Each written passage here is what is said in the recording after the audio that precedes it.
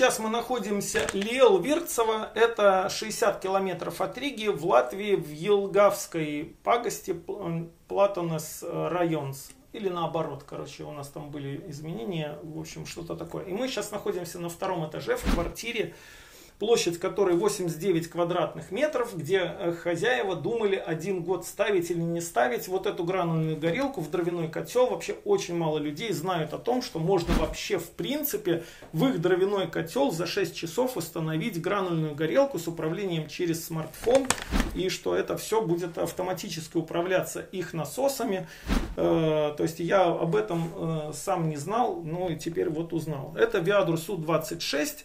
Э, и причина какая? Э, для того, чтобы облегчить жизнь себе, э, чтобы не таскать с подвала дрова, но сейчас все равно придется таскать гранулы с подвала. Но тем не менее, 15 лет топили дровами, примерно стоимость 200 евро машина, потом топили брикетами 3 года, расход примерно 3 тонны, у нас э, платили хозяева по 115 евро тонну. То есть, в принципе, 445 евро уходило за отопительный сезон.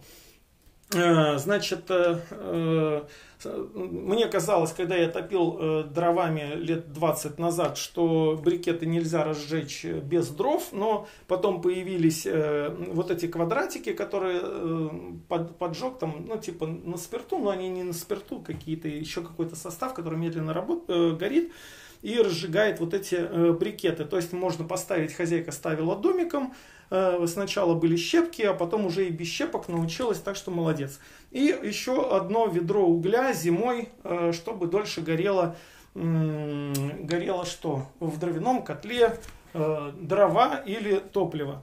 Ну и так как уезжала на 12 часов, то, соответственно, приезжаешь, здесь уже там от 15 э, там, до 18 градусов, потом начинаешь отапливать и э, получается 28 градусов, то есть это очень жарко, огромный перепад, вы то в свитере, то в майке, э, Поэтому решение этому всему это гранульная горелка, которая позволяет, чтобы температура не была выше 22 градусов. То есть Э, основная проблема, чтобы была низкая, более низкая температура, чтобы можно было хоть как-то э, заснуть. Ну, так, а давай включим э, ну, на том датчике, да, чтобы у нас заработало. А то мы в попыхах, тут и вечер, уже голова особо не работает. У нас затрачено было 6 часов Э, времени, чтобы это сделать, поэтому мы тут уже в темноте пытаемся чего-то наваять, чтобы вам было интересно. Э, вы же сидите у компьютера такие задумчивые, никто не улыбается, поэтому надо вам создать какое-то настроение. Вот, значит, что такое, э, многие спрашивают, расход на гранулах на 90 метров квадратных, это 450 килограмм в месяц расход гранул, и 7 месяцев мы в Латвии отапливаемся. Соответственно, 3 тонны 150 э, килограммов будет расход за отопительный сезон, 150 евро тонна у нас сейчас в 2021 году стоимость э, э, брики гранул и получается 472 евро за сезон. Сейчас мы слышим 32 секунды засыпка гранул. Я же должен вам показать, что у нас это даже работает. Ну, сейчас как-то пошутил не очень хорошо. Короче, она, она всегда работает, эта горелка. Вот. Э, и э, э, в чем как бы преимущество, когда вы устанавливаете вот эту горелку в, грануль, в дровяной котел, что вы через пару месяцев очень сильно повысите КПД этого котла. Если пока вы топите, хотя бы один раз протопили, ну все знают, дымоход, допустим, грязный после дров, вы быстренько, получается, протопили, даже один раз, и у вас уже опять дым э, появляется в, э, в доме. Вот, я что хотел про КПД сказать, что КПД э, через пару месяцев будет 80% у этого котла. Сейчас где-то 40-50%. И когда люди сравнивают э, цену брикетов и гранул, брикеты у нас дешевле, но КПД ниже, а гранулы они дороже, но КПД выше. И за счет этого они в принципе одинаково. То есть цена за сезон у вас будет примерно одинаковая. Что так 450 евро за отопительный сезон на дровах, и вы мучаетесь все время с этой температурой в холоде и в сырости, просыпаетесь и приходите домой после работы, а в данном случае здесь все время поддерживается постоянная 22 градуса температура. Да. Э, значит, э, что получается? Э, то есть горелка что делает? Она держит в принципе 22 градуса, то есть на 21,5 включается, на 22,5 выключается. Но вы также можете контролировать эту температуру и через смартфон от плюс 5 до плюс 35 градусов, что очень удобно.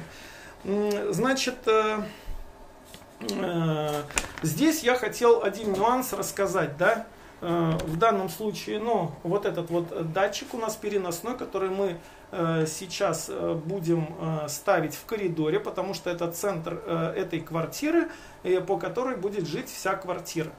Вот. Еще один момент, который я редко показываю, но тут получилось так, что у нас вот эта радость вся появилась Э, у нас под рукой. То есть вот это сопло, вот сейчас, э, если вы обратите внимание, то есть у нас происходит вот такая вещь. То есть вот это, ну сейчас вот розжиг идет, смотрите, дым, это я вообще никогда не показывал.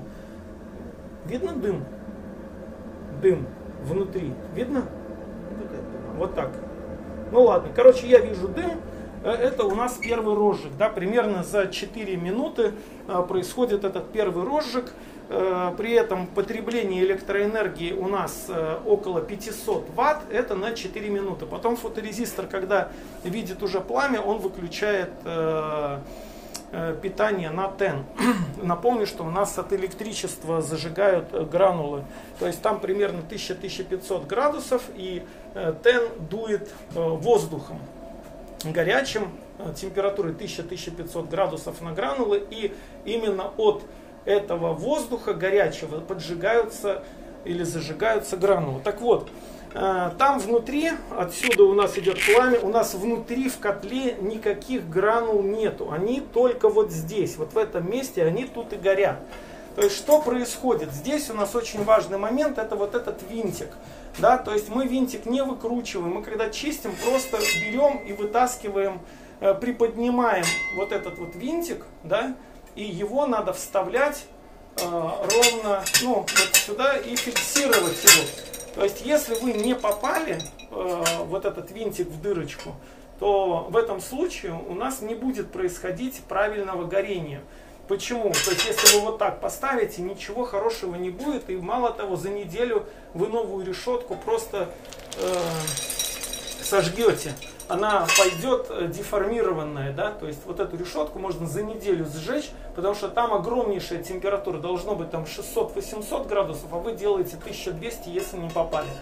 Э, и э, чистить надо вот эти вот рисочки. То есть, если у вас гранулы и рисочки, вот эти полосочки чистенькие, значит у вас очень качественные гранулы. Если у вас они забиты дегтем, соответственно в гранулах есть какие-то примеси грибы, песок, э, мох, ну, всякая неизвестная нам ситуация, которую вы не можете определить, даже если вы покупаете светлые гранулы. И также старайтесь ну, покупать их светлыми, не совсем темными, потому что в темных обычно, ну, либо они пережженные, это тогда ничего. Вот если они э, с корой, то это уже э, надо будет чаще Э, чистить просто вот эту решеточку и сам котел. Чистить котел надо, мы потому что были в двух объектах, э, где э, ни разу за полгода не чистили котел. Напоминаю, что помимо горелки надо чистить еще и котел, как вы чистили от золы для дров.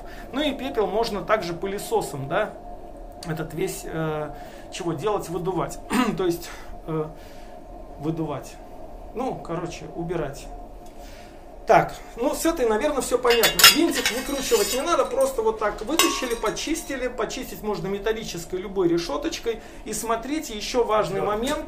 Э, отвертка можно, да. Вот тут есть э, вот такая улыбочка, да, как мы ее называем. И э, за ней и вот здесь не должно быть гранул, потому что отсюда подается кислород, да, а сверху у нас сыпятся гранулы, да, то есть вот здесь у нас снизу кислород, а, а здесь у нас сверху гранулы. И э, вот в этой улыбочки, не должно быть гранул. Очень часто вот здесь вот э, мы видим э, забитые гранулы. Э, то есть их нужно оттуда выбирать. Там то ли какой-то спицей, то ли, э, ну, он, у нас э, мы чем выбираем? Либо проволочкой, да, что самое простое, но у нас сейчас от дворников э, из нержавейки такая, ну как, ну не спица, а такая пластиночка, и ей тоже очень удобно. Ну, короче, что есть под рукой, то мы и делаем. Так, все, с, надеюсь, вот с этой решеточкой, на которой происходит все горение, мы разобрались. Э, значит, да, ну, да, да э, сейчас я посмотрю свою шпаргалку, потому что я все постоянно забываю. А, был вопрос, если пропало электричество, то все настройки сохраняются. То есть, если пропало электричество и э, у вас э, потом оно включилось, то если есть запрос от какого-то датчика э, на э, отопление или датчик на горячую воду, то, соответственно, это все включается э, автоматически. Надо подождать просто минут 20. Э, как мы в данном случае с этим э, разбирались, да? В данном случае это крайне маленькая котельная, у нее 2 квадратных метра, метр 20 на метр 80, я даже не поленился и рулеткой замерил. И здесь мы столкнулись с тем, что нам мешало засунуть бункер, здесь 30 сантиметров в 30 сантиметров, это второй случай у нас на нашей практике. Э, когда вот так вот э, получилось это все установить, очень компактно, хозяйка очень довольна. Э, и нам даже пришлось с высверлить 4 заклепки, потому что по-другому мы никак не могли его сюда разместить. И получается, я первый раз приезжал, мы обычно по клиентам не ездим, Э, по той причине, что мы просто тогда ничего не успеваем и, в общем, э, и тогда у нас получалось, что он сюда э, влазит, мы все померили, и поэтому у нас все хорошо. Хотя я до последнего, в принципе, сомневался. Вот. Напомню, что гранулы у нас должны быть 6-миллиметровые. Э, и, качество у нас EN+, да, то есть вот такое EN+, и A1. То есть это 6 миллиметровые, максимальная их длина 35 миллиметров. Вот, дальше что? Э, у нас здесь идеальная ситуация, по котельной чуть-чуть пройдусь. Э, значит, вот этот насосик чисто у нас на бойлер, мы туда еще сходим, и мы его подключаем, в принципе, к 14 контакту, фазу, 15.0.16 земля, это в инструкции есть, это для продвинутых пользователей, которые в наше время хотят э, все делать сами, мы это только приветствуем. Вот, э, и, э, и здесь, дальше там не видно, но там есть у нас насосик на отопление. Мы его тогда устанавливаем на 11 контакт фазы 12.0, 13 13 э, земля, э, да, спасибо. И получается, что у нас, когда э, запрос на отопление, то он, э, горелка сама включает этот насосик, мы его подключаем специально, э, и он тогда при достижении 30 градусов на горелке, э, он включит насос. Э, и, а вот этот насосик при 40 градусах включит на бойлер, да, у нас есть проводок, тоже покажем, э, который подсоединен к бойлеру. И э, что нам необходимо здесь знать или делать? То есть в данном случае хозяйка спрашивает, как мне, вот я уехала там на пару дней, как мне не греть бойлер. Есть параметр U02, я вам сейчас это все покажу.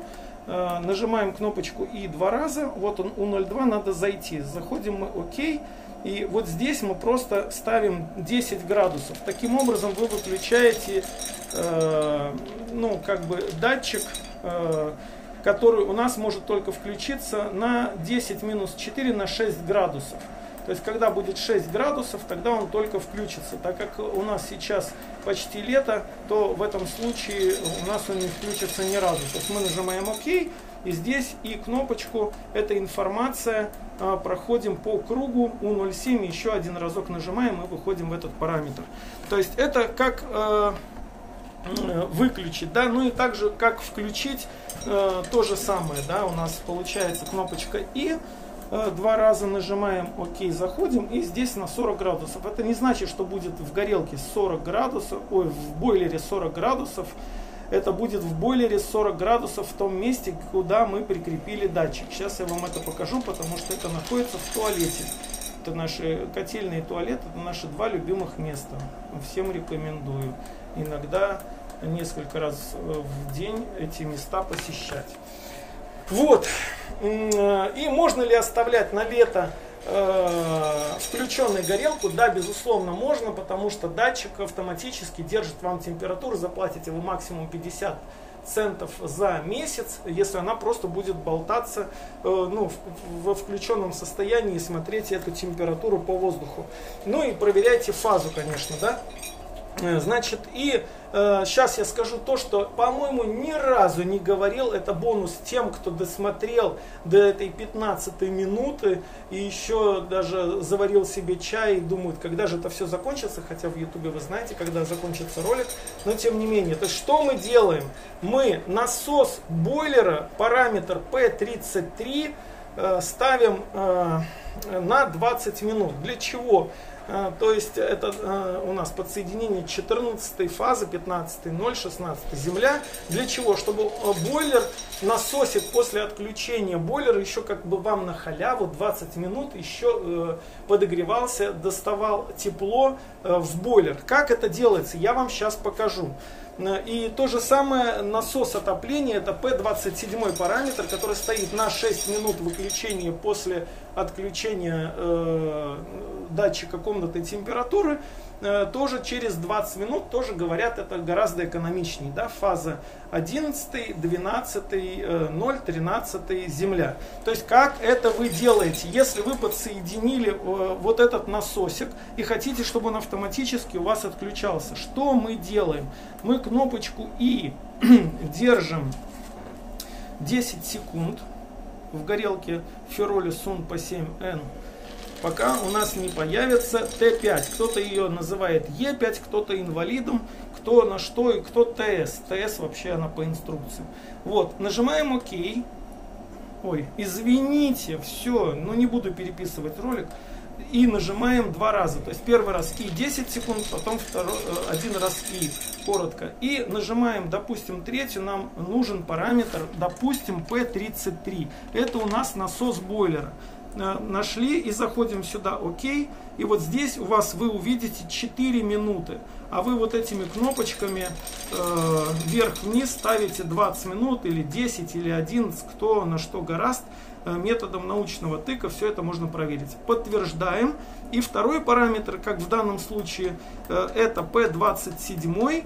Это у нас насос отопления, который по умолчанию вы здесь увидите 6, но мы ставим тоже 20 минут. Э, это тоже нам э, чего-то экономит, да, то есть вы вот просто ставите, ну, 20 или сколько хотите, хоть 8 минут. Окей, подтверждаем. И как выходим? И один разок, и э, 10 секунд держим и кнопочку. Вот, пока не увидите градусы. Вот. В данном случае увидели. Иногда бывает, что вы э, как бы проскакиваете, у вас У01. Не пугайтесь, вам надо просто вот так вот э, 7 раз нажать еще раз, и вы опять выйдете на У54. Ой, на ваши градусы. Так, э, значит, и последнее, чтобы вас, как говорится, не томить. А, еще всегда говорю, что э, горелка, вот э, просто микрофон находится очень близко от того места, где сыпятся гранулы, и вам кажется сейчас, что очень громко эта вся тема работает. Но я вас уверяю, что э, если вы закроете две двери, то вы ничего не услышите. С одной дверцы, если вы прямо за котельной спите, не ставьте эту горелку, потому что вы не сможете э, спать, потому что вы будете слышать, как падают эти конфетки или гранулы, или как их еще там кто-то называет. Вот, поэтому, э, поэтому что? Если у вас две двери есть, то все. Теперь мы переходим, э, переходим э, в э, туалет, где у нас есть комбинированный бойлер. Надеюсь, что я за минуту закончу с этой радостью. Так, мы идем сюда. Так, вот, вот э, это счастливое место. Значит, вот у нас э, примерно 100-литровый бойлер. Вот у нас подача от котла, вот подача от э, чего? Обратка от бойлера. И вот здесь мы просверлили отверстие э, в кожухе. Мы не сверлим прямо бойлер, чтобы оттуда лилась вода. Это кожух, потом идет изоляция, а потом сам корпус бойлера. Мы корпус бойлера не, не сверлим. И сюда засовываем НТЦ-датчик, прикрепляем его сантехнической изолентой, чтобы он случайно оттуда не вырвался. И в принципе все. То есть вот так вот мы под, подключаем вот этот вот этот НТЦ-датчик. Спасибо вам за внимание. До новых встреч в эфире. Смотрите нас в следующем ролике. Если надоел, перематывайте на что-нибудь другое. До свидания.